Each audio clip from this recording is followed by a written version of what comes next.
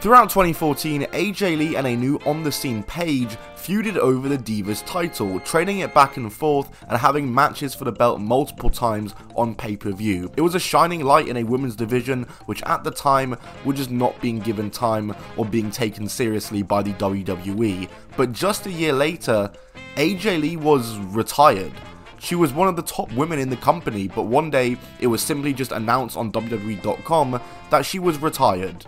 So, what happened? Today we're going to be talking about AJ Lee and what led to her early retirement, as well as what she's doing now. Make sure to like and subscribe, I'll give you until the three count. Rachel Rose hooks the leg. There it is. I hope you beat the count, and let's get into the video. In March of 2007, April Jeanette Mendez enrolled in a wrestling school close to her home in New Jersey, which was being operated by Jay Lethal, and she began to perform on the New Jersey independent scene around late 2007, the same year she started training, and began wrestling on the indies around the area. She wrestled for Women's Superstars Uncensored, where she was a former tag team champion there, and her and Jay Lethal also won the annual WSU slash National Wrestling Superstars King and Queen of the Ring tournament. In May of 2000, 2009, she would leave WSU after she signed with the WWE, relinquishing her championship as a result. April Jeanette Mendez reported to what was WWE's developmental territory at the time, Florida Championship Wrestling. Ain't that nostalgic? And she first debuted under the ring name of April Lee. But not too long after, her name was changed to AJ Lee, what we know her as for pretty much the rest of her career. And AJ Lee had quite a successful run in FCW. She was the FCW Divas Championship once, as well as the Queen of FCW Champion once. And she would get her first national TV exposure when she would go on the third season of NXT back when it was that really weird reality show, and this was season 3 where it was the all women season. She was actually pretty popular on this season of NXT, she kind of played into her nerd fandom and all that, and it ended up helping to get her to place third, third, third, not first unfortunately. But lo and behold, five months later, she would get called up to the main roster anyway as part of a tag team with the NXT winner Kaitlyn, referring to themselves as the Chickbusters. And yeah, they were just a complete jobber team. They mainly appeared as jobbers on SmackDown, or they'd appear on NXT Redemption, which is when the NXT game show season just became never ending and it was the worst weekly show in history. Definitely a video on that will be needed. In November 2011 though, AJ was placed in an on-screen relationship with Daniel Bryan, and this would end up being the turning point of her career. Daniel Bryan won the World Heavyweight Championship next month and AJ and their relationship would become a big part of Bryan's character, and she was a focal point of Daniel Bryan's title reign.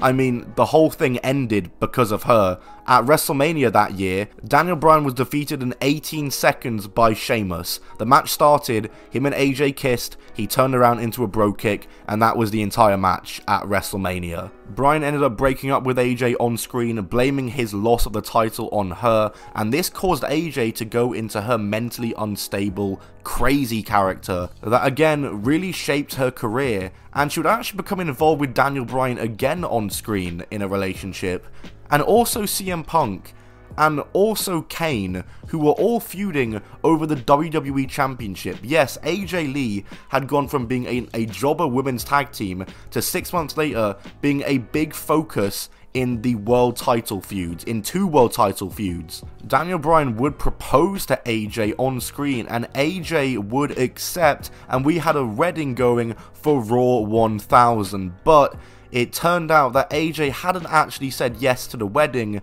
she had said yes to being the new GM of Monday Night Raw and she left Bryan at the altar. So yeah, AJ Lee now was a weekly on-screen authority figure character. She was on TV all the time, getting so much exposure, and she was easily the most popular women's wrestler in the company, despite the fact that she wasn't even really wrestling that much, or wasn't portrayed as in the main event or around the title picture in the women's division. Truth be told, AJ Lee didn't really do too much as the Raw GM, it ended up not really suiting her, and she would then become involved with John Cena on screen. But this didn't last for too long either, because AJ Lee would ditch John Cena to get with Dolph Ziggler. AJ Lee turned heel, got into a relationship on screen with Dolph Ziggler, and eventually they were joined by Big E as the muscle of the trio, and this was easily the prime years for AJ Lee as a heel character. This trio were absolutely awesome. When Dolph Ziggler cashed in his Money in the Bank contract to win the world title on the Raw after WrestleMania 29 in 2013,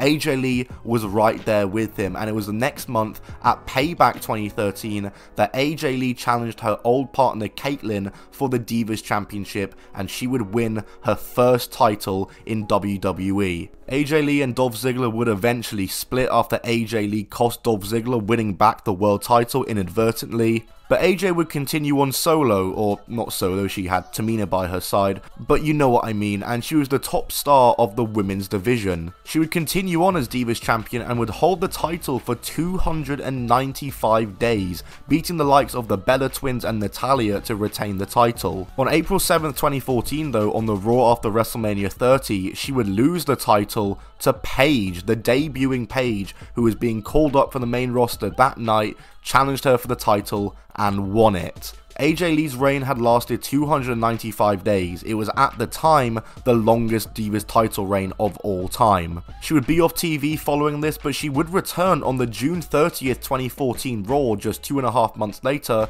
to win the Divas title back from Paige. AJ Lee was now full babyface as her and Paige would feud throughout 2014, with them trading the Divas title back and forth, but the feud between herself and Paige would end with AJ Lee as the Divas champion, now a three-time Divas champion, but she would lose the title to Nikki Bella at Survivor Series 2014. She took some time off TV once again and returned in time for WrestleMania season to team up with Paige to take on the Bella twins at WrestleMania, a match that they won. The next night on the Raw after WrestleMania, herself, Paige, and Naomi teamed up to defeat the Bella Twins and Natalya in what ended up being her final ever match. Yeah, WWE.com went on to announce that this was actually her final ever wrestling match, or just announcing that she had retired from in ring competition. It was announced only a couple days later, no one knew before the match had started, and yeah, that was her final match. So why did she retire so early? Well, the main story that everyone seems to remember or go off of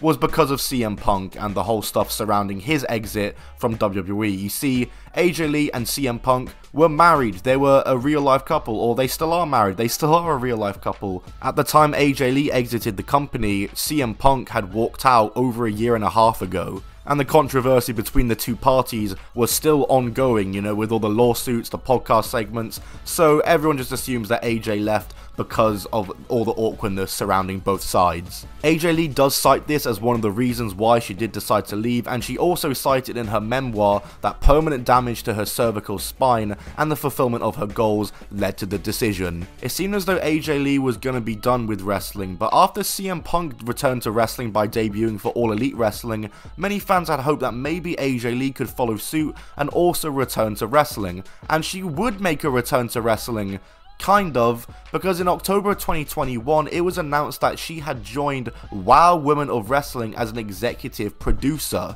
And since September of 2022, she has also been a color commentator for WOW's weekly TV show. So if you want to see AJ Lee involved in wrestling again, I guess get watching WOW. Comment down below if AJ Lee should go to WWE or AEW.